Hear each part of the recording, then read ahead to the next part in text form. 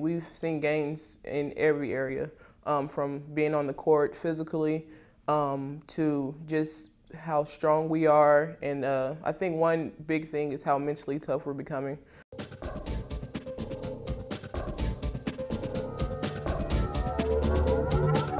All elite programs know staying on top sometimes calls for a shift in philosophy. That may be the best way to describe the new sports performance program being utilized by Purdue Athletics and the women's basketball team.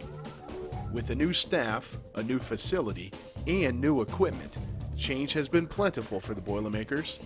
And so far, change has been very, very good. It's refreshing. I mean, we go hard, but they just take pride in recovery. Um, I feel like without the recovery techniques that we do, we're required to stretch and foam roll after, before and after everything that we do. We actually have recovery days where we just do yoga-like stuff and just stretching. But I think it's awesome. Um, I feel like our team has grown from it and we feel a lot better doing it. We see changes and, and changes are good. You're not going to really see um, too many of the same things that we were doing before, but we can tell right away that we're getting development and we're getting better. I don't think you can get in shape until you actually get here. You can't get ready.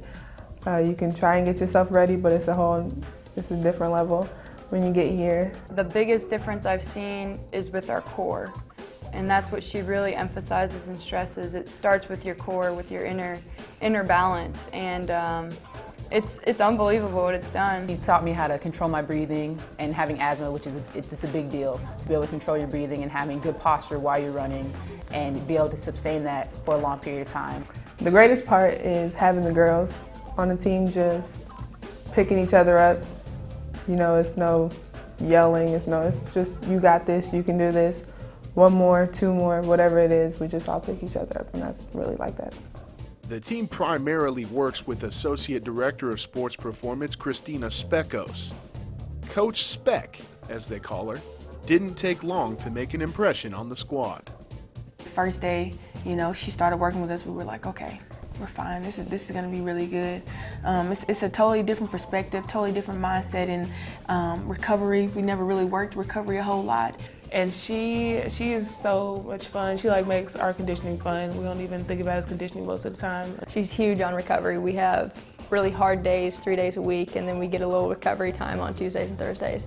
Um, but the recovery time is not just taking a day off. I mean, you go and ride the bike slowly for 30 minutes or something like that. But I think just with a different attitude of recovery, I think that we're going to be able to be in shape but not be as hard on our bodies and I think that's a great thing for us. She's full of energy and she's always exciting and anytime that you know we're getting a little tired or not feeling it she she tries to motivate us and is like let's go ladies and gets us all excited and she gets excited to work us out and so that makes us excited.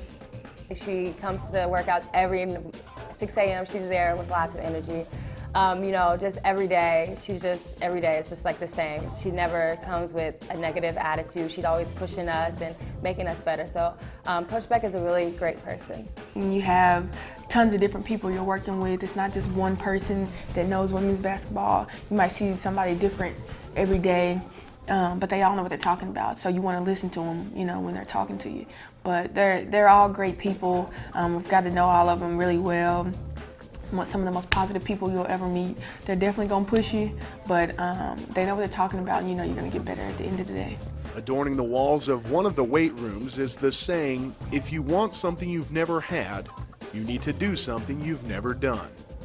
That's the hope of this squad as they embark on the odyssey of the 2011 2012 season.